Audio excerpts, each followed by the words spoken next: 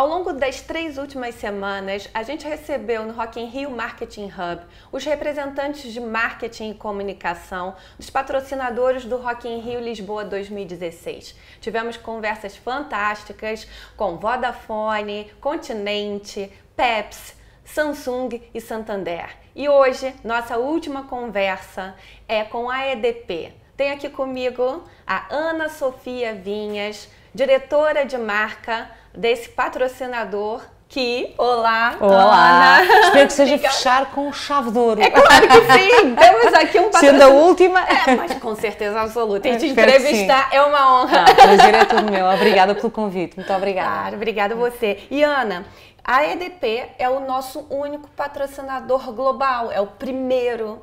Então, vocês estiveram com a gente em 2013 no Rio, depois voltaram aqui para Lisboa, uhum. estiveram com a gente no nosso primeiro passo de internacionalização para os Estados Unidos, em Vegas, com Rock in Rio USA. Depois voltaram para a segunda etapa da festa de 30 anos no Rio e agora estão aqui uhum. de novo com a gente. Qual o balanço que você faz dessa parceria nos quatro cantos do mundo. É, e é, uma, é um balanço bastante positivo, que é uma parceria que só podia existir eu peço desculpa às outras marcas, mas com a EDP. Porquê?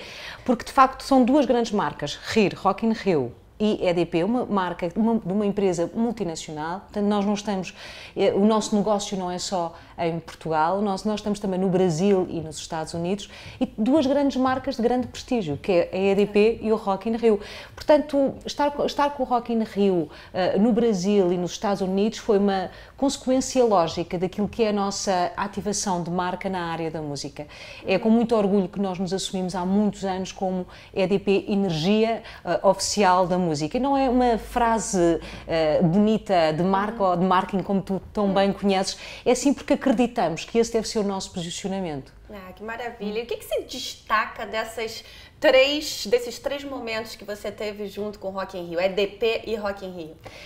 É, é, em termos de ativação de marca, a, a, coerência foi sempre a mesma, ou seja, a, a nossa presença na, quer nos Estados Unidos, quer no Brasil e quer em Lisboa, em Lisboa com uma presença de marca maior no recinto, porque nós temos que saber, no fundo, adaptar a, a nossa ativação de marca aos stakeholders e, e ao público e ao target específico que queremos atingir. No caso dos Estados Unidos, onde nós já estamos há quase 10 anos, temos muita relação com os landowners, porque temos muitos parques eólicos.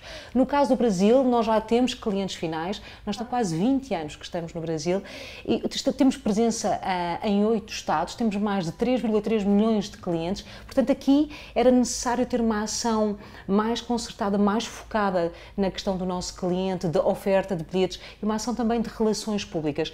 Agora, em Lisboa, Convidámos mais de 1.500 clientes nossos para existir ao Rock in Rio. Vão ter um tratamento muito especial no nosso stand e ao longo de todos os dias que vão estar no recinto. E acho que com muitas e muitas surpresas que eu não posso desvendar agora. E vocês sabem que a marca EDP é uma marca do ponto de vista da ativação.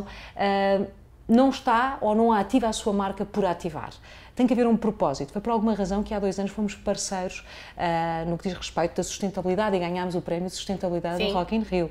Uh, tudo o que fazemos no nosso stand, uh, qualquer CO2 que produzimos é compensado. Depois é sempre aquele caráter da inovação, uhum. tentar inovar, superar, claro. uh, superar as nossas próprias expectativas. Se há, uh... E aí há uma associação muito natural é, de posicionamentos entre EDP e Rock in Rio, né? Eu acho que os nossos valores são os mesmos. Uhum. Não, este nosso casamento não poderia correr tão bem se não tivéssemos os mesmos claro. valores. A mesma é? energia. A mesma energia, que é uma boa energia. Se não houvesse os mesmos valores como ponto de partida daquilo uhum. que fazemos, não poderia correr bem. O lema da EDP é Heartbeats. Qual vai ser o ritmo da EDP nessa sétima edição do Rock in Rio Lisboa? Vai ser um ritmo muito bom, tenho uma certeza, acredito mesmo nisso. Vai ser um ritmo de boa energia. Uh, nós todos os anos criamos um conceito umbrella de comunicação, uhum. quer para a nossa ativação de marca na música, quer no desporto, e este ano é o Heartbeats. O ano passado foi Eu On Tour, este ano é Heartbeats ao ritmo da música ou ao ritmo de uma maratona, do desporto. Uhum. E porquê Heartbeats? Porque acredito acreditamos que este é o caminho para nos aproximarmos mais dos nossos stakeholders, dos nossos clientes, por exemplo. Uh, Heartbeats, criar esta comunicação mais próxima com quem nos ouve e quem, quem está perto de nós. E acreditamos que vai ser um bater de coração no Rock in Rio com muito, muito boa energia. E esse ano vocês têm o naming da Rock Street a rua mais eclética da cidade do rock. Já em 2014, vocês deram nome ao palco da Rock Street. Uhum. Esse ano, batizaram a rua inteira. Que fatores fizeram com que a EDP se associasse a esse espaço, mais uma vez, tão eclético, de tanta cultura diferenciada ali, uhum. fervilhando para o público? Eu, eu acho que é mesmo um, um espaço mágico. Uhum. Uh, há dois anos foi e acredito que este ano também vai ser um espaço uhum. muito mágico, uma animação muito própria, com uma vida muito própria. Uh, por vezes, uh, mas corrija-me por favor, eu até sinto que é como se fosse quase um mundinho à parte, dentro de todo o uhum. recinto, há ali um ambiente muito especial. E, e de facto, este ano assumimos pela primeira vez o EDP Rock Street, portanto assumimos o nome da, uh, da rua, e quer dizer, não podiam ser um ano mais perfeito, onde o ritmo da música brasileira vai marcar presença na EDP uhum. Rock Street, isto num ano em que nós, EDP, também comemoramos 20 anos de presença no Brasil. Olha só, ah, celebração, é. É, muito verdade. simbólico. E a EDP, a EDP faz este ano 40 anos. É, muitos então, parabéns. Muito obrigada. Parabéns. Os parabéns são todos nós, é, todos nós, que todos bom, nós. muito bom. E Ana, adoraria saber um momento seu, pessoal, hum. em Rock in Rio. Um Rock in Rio aqui, nos Estados Unidos, no Brasil. Tem alguma coisa que você lembre que marcou você pessoalmente? Rolling Stones. Ah.